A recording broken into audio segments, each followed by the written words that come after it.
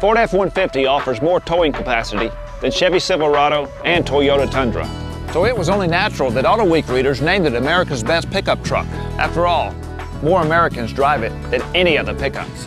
They call F-Series the best-selling pickup for a quarter of a century.